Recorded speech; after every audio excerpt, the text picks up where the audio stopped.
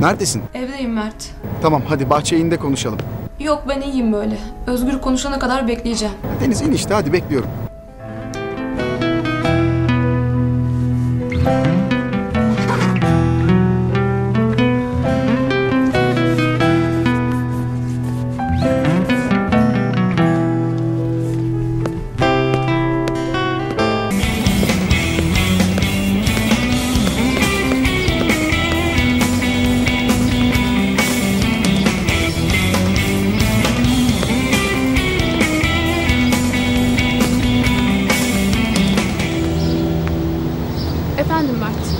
Efendim Mert mi?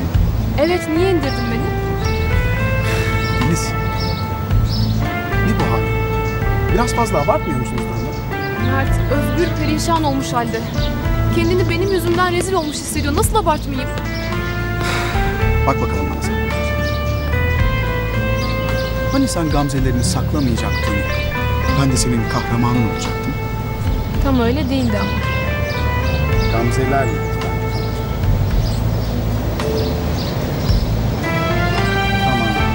Şimdi oldu. Ben Özgür'le konuşacağım. Sonra kendini toparlasın. Sen de konuşursun. Okey? Teşekkür ederim Mert. Her şey için teşekkür ederim. Sen iyi ki çıktın karşıma. Deniz, yeter artık asma suratını. Ben bu evde kaldıkça bu durum düzelmeyecek. Deniz hiç ilgisi yok. Var. İkbal Hanım resmen evin huzurunu kaçırıyorsun. Özgür'den uzak dur dedi. Allah Allah. Haberler ne çabuk yayılıyor. O nereden öğrenmiş ki mektup olayını? Bilmiyorum. Bak, sana daha önce söyledim. Eğer kendine başka bir yer bulmak istiyorsan ben sana yardım hazırım. Şimdi kendini daha fazla üzme. Git dinlen kendine gel. O gamzeler de yerine gelsin. Ben Özgür'le konuşurum şimdi.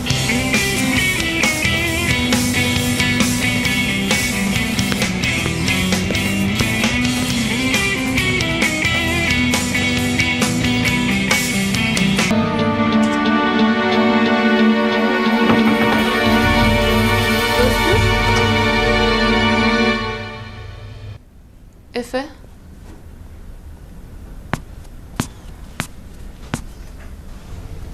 Deniz abla sen üzgün müsün? Yok. Sadece biraz canım sıkkın Efe'cim. Anneni mi özledin? Evet. Hem de çok. Hiç gelmeyecek mi yanına? Gelecek ama daha var.